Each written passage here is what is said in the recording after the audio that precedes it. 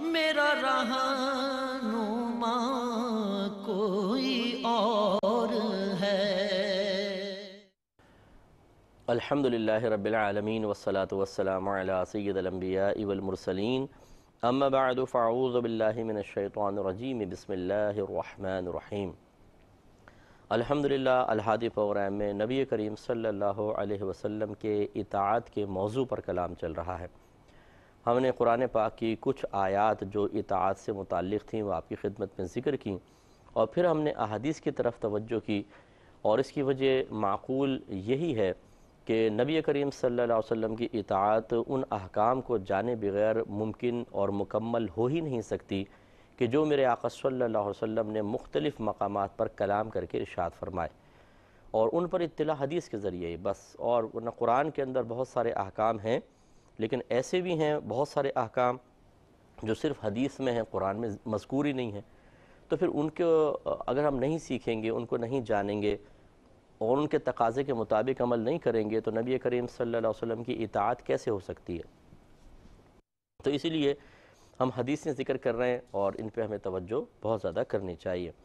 بخاری مسلم کی ایک روایت پر تفصیلی میں نے کلام کیا کہ نبی کریم صلی اللہ علیہ وسلم نے شاد فرمایا کہ جب آدمی اپنی زوجہ کو اپنے پاس بلائے اور وہ انکار کر دے یعنی تقاضۂ نفسانی کی تکمیل کے لیے بلائے اور انکار کر دے، پھر خاوند اس سے ناراضگی کی حالت میں رات گزارے تو فرشتے صبح تک اس عورت پر لانت کرتے رہتے ہیں۔ گویا کہ یہ بہت بڑا گناہ ہے، شوہر کی اطاعت اس سلسلے میں ہونی چاہیے، جبکہ کوئی صحیح شرعی عذر نہ ہو۔ اور وہ آزار میں نے بیان کر دیے۔ مثال کے طور پر کوئی عورت شدید بیماری میں ہے، وہاں پرائیویسی نہیں ہے حالت روزہ میں ہے، رمضان کے روزے رکھے ہوئے ہیں، یا ایام حیض وغیرہ میں ہے، یا اس میں ایک اور چیز ایڈ کر لیں، جیسے عمرے یا حج پر جاتے ہیں اور عورت حالت احرام میں ہے۔ اس میں بھی شوہر سے دور رہنا بہت ضروری ہوتا ہے۔ تو یہ چیزیں ہوتی ہیں بس کہ ان کی وجہ سے عورت منع کر سکتی ہے، ورنہ اجازت نہیں ہے۔ اور دیکھیں، ایک روایت میں اس لفظ آئے، یہ تو پہلے جو تھا کہ حتیٰ تصبح حتیٰ تصبح یعنی یہاں تک کہ صبح کر لے یا صبح ہو جائے، وہ لانت کرتے رہتے ہیں۔ اور ایک روایت میں کہ حتیٰ ترجعی، یہاں تک کہ وہ عورت لوٹ آئے۔ یہ اور زیادہ خطرناک الفاظ ہیں۔ اگر آپ یعنی اس کا نتیجہ کتنا خطرناک ہے کہ جب تک عورت اب اطاعت نہیں کرے گی، تب تک لانت ہوتی رہے گی۔ پہلی روایت کے مطابق تو پوری رات ہے، اس کے بعد سلسلہ ختم۔ لیکن دوسری روایت کے مطابق مثال کے طور پہ عورت شوہر نے بلایا، نہیں آئی۔ اور پورے ہفتے ناراضگی یا دور دور رہتی ہے تو اس کا مطلب ہے کہ جب تک لوٹ کر نہیں آئے گی، فرشتے لانت کرتے رہیں گے۔ اس سے میری وہ بہنیں درس حاصل کریں جو اس قسم کے معاملات میں انوالو ہیں کہ وہ شوہر کی اس معاملے میں اطاعت نہیں کرتی ہیں۔ ان کے ساتھ ہو سکتا ہے کوئی جو میں نے عذر بیان کی، اس کے علاوہ بھی کوئی معقول عذر وہ سمجھتی ہیں کہ یہ ہے۔ تو میری گزارش یہ ہوگی کہ کسی کسی اچھے مستند عالم دین کو اپنا نام ظاہر کیے بغیر، یہ نہ کہنے کی ضرورت ہے کہ میرا مسئلہ ہے فلاں کا ہے ای میل کے ذریعے، لیٹر کے ذریعے، کسی اور پیغام کے ذریعے ان تک وہ یہ بات پہنچائیں کہ بھئی مجھے بتائیں جو جس عذر کی بنا پر میں یہ رویہ اختیار کر رہی ہوں، یہ میرے لیے صحیح ہے یا نہیں؟ ایک شرعی رہنمائی لے لیں۔ بعض اوقات ایسا ہوتا ہے کہ عورت اپنے آپ کو حق بجانی سمجھ رہی ہوتی ہے کہ یہ جو میرا فیصلہ بالکل صحیح ہے، میں صحیح کر رہی ہوں۔ کیونکہ دیکھیں وجہ یہی ہے لیکن اصل یہ ہے کہ شریعت بھی آپ کی اس وجہ اور عذر کو صحیح عذر مانتی ہے کہ نہیں مانتی؟ اگر مانتی ہے تو آپ بری ذمہ ہے، بالکل گناہ گار نہیں ہوں گی لیکن اگر شریعت اس کو نہیں مانتی ہے تو صرف آپ کے کہنے سے وہ شرعی عذر نہیں بن جائے گا، کیونکہ شریعت کا حکم ہم پر فوقیت رکھتا ہے۔ نہ کہ ہم اپنی مرضی سے کچھ قوانین اور اصول بنا کر شریعت کے قوانین اور اصول کو پیچھے کر دیں۔ یہ غلط چیز ہوگی۔ اس لیے میں اپنی بہنوں سے گزارش کرتا ہوں کہ وہ ذرا تھوڑا سا معلوم کر لیں تو بہت ہی بہتر ہے۔ چاہیں تو ہمیں میل کر دیں۔ میرا حکام شریعت پروگرام آتا ہے، اس کے آخر میں ای میل ایڈریس چل رہا ہوتا ہے، یا مفتی اکمل کی ٹی وی ٹو والے میرا جو ای میل ایڈریس ہے، اس پر آپ بھیج سکتے ہیں۔ تو پھر ہم اس کا جواب آپ کو دینے کی کوشش کریں گے۔ ایک اور حدیث لیتے ہیں۔ حضرت ابو حریرہ رضی اللہ تعالی عنہ ہی اس کے راوی ہیں۔ یہ کہتے ہیں کہ بے شک نبی کریم صلی اللہ علیہ وسلم نے ارشاد فرمایا کہ عورت کے لیے جائز نہیں کہ وہ خاوند کی موجودگی میں اس کی اجازت کے بغیر روزہ رکھے۔ اور نہ یہ جائز ہے کہ وہ اس کے گھر میں اس کی اجازت کے بغیر کسی کو داخل ہونے کی اجازت دے۔ بخاری و مسلم کی روایت ہے۔ تو اس کا مطلب یہ ہوا کہ دیکھیں، وہی بات جو پہلے میں نے عرض کی تھی کہ نکاح کا مقصود یہ ہے کہ ہم حلال طریقے سے تقاضۂ نفسانی کو پورا کر کے نفس و شیطان کی گرفت کو کمزور کریں۔ جب حلال طریقے سے ہم پورا نہیں کرتے تو پھر نفس تقاضۂ نفسانی تو ہے، تو ہمیں پھر نفس و شیطان ترغیب دیتے ہیں کہ حرام ذریعے سے پورا کرو اور ہم حرام میں جا پڑھ سکتے ہیں۔ اس لیے اللہ تعالیٰ نے یہ معاملہ رکھا۔ تو اب جیسے پچھلی روایت بیان کی کہ عورت منع کر رہی ہے، یہ بھی غلط۔ اور اسی طرح اگر نفلی روزہ رکھ لے، تو پھر شوہر کہے گا، بھائی، روزے سے ہے، چلو وہ دور رہے اور پھر اس کا تقاضۂ نفسانی ہو اور وہ گناہ کی طرف مائل ہو جائے۔ تو بالکل ویسے ہی ہے جیسے عورت منع کر رہی ہو۔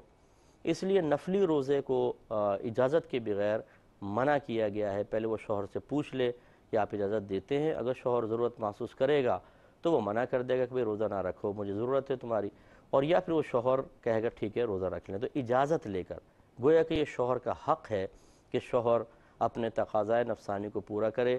اس کے لیے، عورت کے لیے یہ اچھی طرح ذہن نشین رکھیے گا کہ نفلی عبادت سے ہزار ہا گناہ بہتر ہے کہ عورت اپنے شوہر کی دائرۂ شریعت میں رہ کر اطاعت کرے۔ اس میں عورت کے لیے بہت درجے اور بہت ثواب ہے۔ بعض ہماری بہنیں سمجھ نہیں پاتی ہیں اور وہ کہتی ہیں کہ یہ تو میرا شوہر بالکل فاسق، فاجر، بے عمل قسم کا نماز پڑھتا ہے، نہ کچھ۔ اس کا کہنا ماننے کے اندر مجھے کیا ثواب ملے گا؟ اس سے بہتر میں روزے رکھ لوں، نفلی روزے، نمازیں پڑھ لوں۔ تو میری بہن شریعت نے جب شوہر کا حق بیان کیا تو کہیں یہ نہیں بیان کیا کہ متقی پرزگار شوہر ہو تو اس کا یہ حق ہے اور چرسی موالی اور فاسق اور پان اور گٹکے کھانے والا ہو تو اس کا یہ حق ہے۔ ایسا نہیں بیان فرمایا۔ دونوں کا حق برابر ہے۔ اسی لیے چرسی موالی مرے، تب بھی عورت پہ چار ماہ دس دن سوگ بنانا واجب۔ اور متقی پرہزگار کوئی عالم دین شوہر ہو وہ مرے جب تب بھی چار مہینے دس دن ہے تو اس کا مطلب یہ ہوا کہ نعمت شوہر ہونے میں دونوں برابر ہیں۔ یہ الگ بات ہے کہ یقیناً نیک پرہزگار متقی صاحب علم کا درجہ زیادہ ہے، فاسق، فاجر، مرد کا کم ہے، لیکن بیوی جب اپنی جہد سے دیکھ رہی ہے کہ یہ شوہر ہے، تو پھر اس کے لیے وہ دونوں نعمتیں برابر ہیں، شریعت نے رکھی ہیں، اسی وجہ سے پھر عدت بھی دونوں کی برابر ہوتی ہے۔ تو خلاصہ کلام یہ ہے کہ یہ نہ سوچیں کوئی بہن کہ جی اس کی اطاعت کرنے میں مجھے کیا ملے گا؟ کوئی نیک ہوتا تو ملتی، نہیں، وہ شوہر ہے۔ شوہر کی اطاعت کرنے پر عورت کے لیے ثواب ہے۔ کسی نیک آدمی کی اطاعت کرنے کو پر نہیں ہے، تو اس لیے بہنوں کو چاہیے کہ اس شوہر کا کہنا مانیں اور نفلی روزہ شوہر کی مرضی کے بغیر نہ رکھیں۔ تو گویا کہ ہر وہ چیز کہ جو شوہر کی اطاعت کی، اس معاملے میں اطاعت کی راہ میں رکاوٹ بنے، پہلے شوہر سے معلوم کر لیں، اگر اجازت دیتا ہے تو پھر کرے ورنہ نہیں۔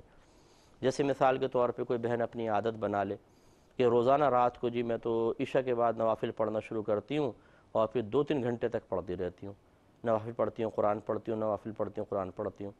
اور اتنی دیر میں شوہر بیچارے کو نیند ہی آ جاتی ہے، سو جاتا ہے۔ اور شوہر سے اجازت بھی نہیں لی۔ تو پھر یاد رکھیں، یہ صحیح فعل نہیں ہے۔ اب وہ سمجھے کہ میں اللہ کی بارگاہ میں مقبول ہو جاؤں گی، کبھی بھی قرب و وصل کی راہیں اس کے اوپر نہیں کھل سکتی ہیں۔ وہ کبھی بھی اللہ کی بارگاہ میں درجے حاصل کر ہی نہیں سکتی ہے، کیونکہ وہ اللہ کی نافرمانی کر رہی ہے۔ اس لیے شوہر سے پہلے پوچھا جائے۔ اسی طریقے سے بڑی معذرت کے ساتھ کہ جب یہ نفلی عبادت کو منع کیا جا رہا ہے سراہتاً تو اسی طریقے سے ہماری بعض خواتین ہوتی ہیں کہ شوہر گھر میں ہے اور وہ باہر گھوم رہی ہیں۔ اچھا یہ نہیں کہ بازاروں میں گھوم رہی ہیں، ادھر ادھر جا رہی ہیں، بلکہ کہا جی آج فلاں جگہ محفل ہے، وہاں چلی گئیں، فلاں جگہ پروگرام ہے، وہاں چلی گئیں، فلاں جگہ پروگرام ہے، وہاں چلی گئیں۔ اور شوہر سے کوئی اجازت نہیں لی، شوہر کی مرضی معلوم نہیں کی، بس ہم جا رہی ہیں۔ اطلاع دے دی۔ بچوں کو سنبھال لینا، کھانا وہ رکھا ہے وہاں پہ، اس کو اتار لینا، روٹی وہاں پہ رکھی ہے وہ نکال کے کھا لینا اور چائے خود بنا لینا، دودھ وہاں رکھا ہے، پتی وہاں رکھی ہے اور وہ نکل لیں۔ وہ بیچارہ دیکھ رہا ہے کہ ارے بھائی، میں گھر میں اور یہ اور اگر روکے شوہر تو کہتی ہیں کہ تم مجھے دین سے روک رہے ہو، دین کے کام سے روک رہے ہو۔ یہ بالکل غلط رویہ ہے۔ اگر کوئی بہن ایسا کرتی ہیں تو یہ غلط کر رہی ہیں۔ یہ حدیث اس پہ مشعل راہ ہے آپ کے لیے۔ کہ یہ کام بھی سارے نفلی ہیں، محفل میں جانا، آپ کا کہیں درس کی محفل میں چلے جانا، اس کے لیے بھی شوہر سے آپ کو پوچھنا چاہیے۔ شوہر کی خدمت کریں، شوہر کا کہنا مانیں، اس کے بعد آپ بالکل اجازت لے کے نکل سکتی ہیں۔ باقی شرائط کے ساتھ کہ بابردہ طریقے سے ہوں، وہاں مرد و عورتوں کا اختلاط وغیرہ نہ ہو۔ لیکن ضروری ہے کہ پہلے شوہر کی مرضی معلوم کی جائے۔ اور اسی طریقے سے شوہر کی اجازت کے بغیر کسی کو اپنے گھر میں داخل ہونے کی اجازت نہ دے۔ یہ اس طریقے سے ہوتا ہے کہ بعض جیسے کزنس وغیرہ ہوتے ہیں اور مرد جو ہوتا ہے وہ بہت جلد شک میں مبتلا ہو جاتا ہے، عورتیں بھی شکی ہوتی ہیں۔ مرد اپنی غیرت کی بنا پر زیادہ ہو جاتا ہے کہ اگر گھر میں وہ آیا اور اس نے دیکھا کہ کوئی مرد بیٹھا ہوا ہے۔ اب وہ چاہے بیوی کا کزن ہے کزن بھی یقینی سی بات ہے کہ نامحرم ہوتا ہے مامو زاد، چچا زاد، خالہ زاد، پھوپھی زاد، ان سے عورت کا نکاح ہو سکتا ہے تو نامحرم۔ جب نامحرم ہے تو پردہ واجب اور تنہائی اس کے ساتھ اختیار کرنا یہ منع ہے۔ چاہے وہ ڈرائنگ روم میں بیٹھے ہوئے ہیں، چاہے وہ کوئی گزرتے ہوئے ہر ایک کی نگاہ بھی پڑ سکتی ہے، لیکن شوہر کے دل میں بدگمانی پیدا ہو سکتی ہے۔ ایک لمحہ ہی ہوتا ہے، بس شیطان دل میں کوئی بات ڈالے۔ اس لیے منع کیا گیا کہ عورت شوہر کی اجازت کے بغیر کسی کو اپنے گھر میں نہ آنے دے کہ شوہر پہ اس پہ شک کرے گا یا بدگمانی پیدا ہوگی اور ان کے آپس کے حالات خراب ہوں گے۔ اس لیے بہتر تو یہی ہے کہ اس معاملے میں تو اجازت بھی نہ مانگی جائے۔ کہ جیسے شوہر آفس میں تو فون کر دیا کہ جی وہ فلاں میرا کزن آنا چاہ رہا ہے، میں بلا لوں اس کو۔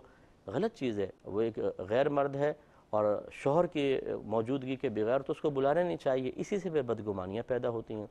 بہتر ہے کہ شوہر سے یوں کہیں کہ اگر آپ اجازت دیں تو جب آپ آفس سے آ جائیں گے تو فلاں کزن ملنا چاہ رہا ہے، وہ پھر آپ کے سامنے آ جائے گا۔ آپ بھی مل لیجیے گا میں بھی۔ چلے تھوڑی ملاقات پردے میں رہ کے جیسے ہو جائے۔ تو اس کی گنجائش ہے۔ اب یہ شوہر کو اپنے اعتماد میں بھی لے لیا، اس سے کوئی منفی اثرات مرتب نہیں ہوں گے۔ بعض اوقات، بعض خاندانوں میں یہ ہوتا ہے کہ اس کو برا فیل نہیں کرتے، ٹھیک ہے جی کزنز آ کے مل رہے ہیں، سب کچھ ہو رہا ہے۔ ہم تو شرعی نقطہ نگاہ سے آپ کو بتا رہے ہیں اور شریعت کو اکثر لوگ اب فالو نہیں کرتے ہیں، بلکہ شریعت کی بات بتائیں تو وہ اوپر سے نیچے تک دیکھتے ہیں۔ جیسے ہم نے کوئی بہت ہی بری بات بول دی اور اجنبی بات بول دی ہے۔ تو میں تو اس کے جواب میں صرف ایک ہی بات کہتا ہوں، دائرہ ادب میں رہ کر کہ آج آپ ہمیں عجیب و غریب نگاہوں سے دیکھ رہے ہیں، ہو سکتا ہے کل میدان محشر میں آپ کی نگاہیں عجیب نہ رہیں بلکہ قابل رحم ہو جائیں۔ کیونکہ جو انسان شریعت کا مذاق اڑا کر نافرمانیاں کرتا رہتا ہے، تو پھر وہ ایک لائن میں کھڑا ہوگا اور اس کو خوف ہوگا کہ آج جو میں نے اللہ تعالیٰ اس کے رسول کی باتوں کا مذاق اڑایا تھا یا نافرمانی کی تھی یا جو اس معاملے میں تلقینات کر رہے تھے، ہم نے ان کے اوپر تنقیدات کی تھیں، آج اس کا انجام کیا ہوگا؟ تو مجرمین کی جب صف میں انسان کھڑا ہوگا تو چہرے کا رنگ فق ہوگا اور وہ ہر گزرنے والے کو رحم طلب نگاہوں سے دیکھ رہا ہوگا، کاش کوئی مجھے ہمدردی کر لے، کاش کوئی میری سفارش کر دے۔ تو یہ وہ اس وقت کو یاد کریں۔ تو چونکہ ہمارے ہاں اب فکر آخرت نہیں ہے، یہ باتیں ہمارے گھروں میں نہیں ہوتی ہیں۔ موت کا ذکر سالہ سال نہیں ہوا۔ میدان معاشر کا حساب کتاب، جنت، دوزخ، یہ تو ٹاپک ہمارے گھر میں اجنبی ہو گئے ہیں، بالکل۔ کون کرے یہ باتیں؟ چھوڑو جی۔ بھئی یہ باتیں کرو، بی سی نکل رہی ہے، یہ مکان بنانا ہے، پردے لے کر آنے ہیں، صوفے لے کر آنے ہیں، فلاں کی شادی ہو رہی ہے اسے گفٹ دینا ہے، فلاں، یہ وہ سبھی اپنے چکروں میں ہم لگے ہوئے ہیں یعنی دنیا کے اندر گر گئے تو اس میں پھر جب اس دنیا کے اس ماحول میں جس میں ہم گھر چکے ہیں، کوئی رکاوٹ ڈالتا ہے، چاہے وہ بھی عالم ہو، مفتی ہو ہم اسے رکاوٹ سمجھتے ہیں کہ بھئی یہ کہاں ہمیں آخرت کی طرف مائل کر رہا ہے تو غصہ شروع ہو جاتا ہے۔ لیکن سوچئے وہ تو اصل مقصد کی طرف آپ کو بلا رہا ہے۔ تو یہ برا نہیں ماننا چاہیے۔ تو بہرحال بعض گھر ایسے ہوتے ہیں جن میں اس کو بالکل برا فیل نہیں کیا جاتا۔ لیکن آپ بھی اسی دور میں رہ رہے ہیں۔ آپ بھی تھوڑا سا غور کر لیں، چاہے کتنا ہی کوئی وسیع ذہن کا ہو کہ بھئی ہمارے یہاں کوئی برا فیل نہیں کرتے۔ لیکن انہی گھروں کے اندر ہم نے دیکھا ہے کہ بیوی بھی جب شوہر کو کسی کزن کے ساتھ ہنستا ہوا دیکھ لے تو وہ برا مانتی ہے۔ اور وہ شوہر اگر بیوی کو دیکھ لے، کسی کزن مرد کے ساتھ بیٹھا ہوئے، تو اس کے دل میں بدگمانیاں پیدا ہوتی ہیں۔ پھر کون سے ماحول کی آپ بات کر رہے ہیں؟ آپ تو کہہ رہے ہیں ہمارے یہاں تو یہ چلتا ہے۔ چلتا نہیں ہے۔ آپ زبردستی چلا رہے ہیں۔ آپ کے دل بھی اس بات کی گواہی دیتے ہیں کہ یہ غلط ہے، لیکن آپ اس غلط کو صحیح کرنے کی کوشش کر رہے ہوتے ہیں۔ اور جب شریعت نے ایک بات کو غلط کہا ہے، اگر انسان اسے کرے گا تو طبیعت پر غلط اثرات مرتب ہوں گے۔ نتیجہ نکلتا ہے کہ ہم اس کو صحیح تو کہہ رہے ہوتے ہیں، لیکن جو شرعی لحاظ سے جو شریعت نے ہوشیار کیا ہے وہی غلط اثرات جب طبیعت پر مرتب ہو رہے ہوتے ہیں، تب ہمیں احساس ہوتا ہے کہ یار واقعی بات تو ٹھیک ہے۔ لیکن ہم ہیں بڑے باپ کے، ناک بڑی اونچی ہوتی ہے، کون مانے کہ جی ہاں امام صاحب نے صحیح کہا تھا، مفتی صاحب نے صحیح کہا تھا، عالم صاحب نے صحیح کہا تھا، مانیں گے نہیں ان کی؟ اپنا کہیں گے، بھائی ہم نے تو اچھا مول بنایا ہوا تھا گھر میں، پتہ نہیں کس کی نظر کھا گئی ہمارے گھر کو۔ جادو کر دیا کسی نے ٹونا کر دیا ہے۔ اچھی خاصی محبت اور پیار تھا۔ کوئی جادو ٹونا نہیں ہے۔ کسی کے پاس اتنا ٹائم نہیں ہے کہ جادو کروائے۔ جادو کرنا کوئی آسان نہیں ہوتا۔ ہم نے خود اپنے پاؤں پہ کلہاڑے مارے ہوتے ہیں۔ جو شریعت کو معمولی سمجھتا ہے اور بہت ہی براڈ مائنڈ بننے کی کوشش کرتا ہے، دوسروں کو بیکورڈ کہتا ہے، اسے ٹھوکر لگتی ہے۔ اور میں نے اکثر دیکھا ہے، بس اپنی جھوٹی شان بنائی ہوئی ہے اور گھروں کے اندر ناچاقیاں ہیں، بے اتفاقیاں ہیں، طبیعتیں ایک دوسرے سے بہت دور ہیں نہ ادب ہے، نہ احترام ہے اور گالی گلوچ ہے چچڑا پن ہے۔ ایک دوسرے کو حقیر سمجھ رہے ہیں، لیکن نہ کچھ ہی رکھنی ہے کہ نہیں، ہم نے اس ماحول میں رہنا ہے۔ اچھے پاکیزہ ماحول کی طرف نہیں آنا ہے جو شریعت ہمیں کہہ رہی ہے۔ تو ٹھیک ہے بھائی، پھر ہم نے زندگی جب اپنی جہنم بنا لی اور ہم حقیقی شریعت کی، رحمت کی چھاؤں میں اپنے دنیا اور آخرت کی جنت حاصل نہیں کرنا چاہتے، تو پھر کون ہمیں کیا کہے؟ اس لیے میں گزارش کرتا ہوں کہ ان چیزوں پہ توجہ کرنی چاہیے۔ شریعت کو کبھی معمولی نہ سمجھیں۔ تو اس لیے جن گھروں میں آنا جانا ہوتا بھی ہے، وہاں شادی کے بعد تو خاص طور پہ انتہائی رزو رہنا ہوتا۔ ہے اور ہمارا مشورہ تو شادی سے پہلے کا بھی ہوتا ہے کہ بعد اوقات شادی سے پہلے کی جو غلطیاں اور آزادیاں اور بے احتیاطیاں ہوتی ہیں یہ شادی کے بعد ازدواجی زندگی کو کامیاب اور خوشگوار نہیں بننے دیتی، کیونکہ وہ پچھلا روٹین چل رہا ہوتا ہے۔ شادی کے بعد بھی پھر ایک دم تو اس کے اثرات سے انسان باہر نہیں نکل پاتا، اور تھوڑا بہت اس کے اگر اثر شادی کے بعد بھی تھوڑا بہت بھی اگر باقی رہے، تو پھر اسی طرح بدگمانی اور شک پیدا ہوتے ہیں، اور پھر رشتوں میں دراڑ پڑ جاتی ہے اور پھر بعض اوقات دوری ہوتی چلی جاتی ہے۔ اب ایک نماز کے بارے میں نبی کریم صلی اللہ علیہ وسلم کا حکم ہے، وہ دیکھ لیتے ہیں، بخاری و مسلم کی روایت ہے۔ حضرت ابو حریر رضی اللہ تعالی عنہ سے روایت ہے کہ نبی کریم صلی اللہ علیہ وسلم نے شاد فرمایا، کیا تمہارا ایک آدمی جب اپنا سر امام سے پہلے اٹھاتا ہے، اس بات سے نہیں ڈرتا کہ اللہ تعالیٰ اس کے سر کو گدھے کا سر بنا دے؟ یا اللہ تعالیٰ اس کی صورت کو گدھے کی صورت میں بدل دے۔ یعنی نبی کریم صلی اللہ علیہ وسلم یہ فرما رہے ہیں کہ جب انسان جماعت سے نماز پڑھ رہا ہو تو اس کو اس کے لیے لازم ہے کہ اپنے امام کی پیروی کرے۔ پہلے امام تکبیر لگائے گا، پھر یہ۔ پہلے امام رکو کرے گا، پھر یہ۔ پھر امام، پہلے امام سجدہ کرے گا اور پھر یہ۔ اگر ہم امام سے آگے آگے بڑھنے کی کوشش کریں گے، اس کو سرکار نے فرمایا غلط ہے اور خاص طور پہ پھر یہ سرکار صلی اللہ علیہ وسلم نے اشاد فرمایا کہ امام سجدے میں گیا تو پھر ہمیں چاہیے انتظار کریں جب امام اللہ اکبر کہے پھر ہم اپنا سر اٹھائیں۔ تو گویا کہ پہلے امام اللہ اکبر کہتا ہوا اپنا سر پہلے اٹھائے گا، ہم بعد میں اٹھائیں گے۔ اور اگر کوئی ایسا نہ کرے، امام سے پہلے پہلے تمام ارکان ادا کرنے کی کوشش کرے تو ہو سکتا ہے کہ اللہ تعالیٰ اس کے چہرے کو گدھے کی شکل میں بدل دے۔ یہ بخاری و مسلم کی روایت ہے۔ اب کوئی کہے گا کہ یار یہ کہاں ہو سکتا ہے؟ شاید ویسے سرکار نے ڈرانے کے لیے کہا ہے لیکن میں آپ کو ایک روایت عرض کرتا ہوں۔ یہ صاحب بہار شریعت نے بھی نقل کی ہے، بہار شریعت میں، کہ ایک شخص کہتے ہیں کہ میں ایک محدث سے حدیث پڑھنے جایا کرتا تھا، اور وہ ہمیشہ ایک پردے میں رہ کر مجھے حدیث پڑھاتے تھے۔ تو ایک دن میں نے ان سے پوچھا کہ یہ آپ مجھ میرے سامنے کیوں نہیں بیٹھتے ہیں آپ؟ کیوں نہیں ظاہر ہوتے؟ کیوں اپنا چہرہ نہیں دکھاتے؟ تو انہوں نے پردہ ہٹا دیا۔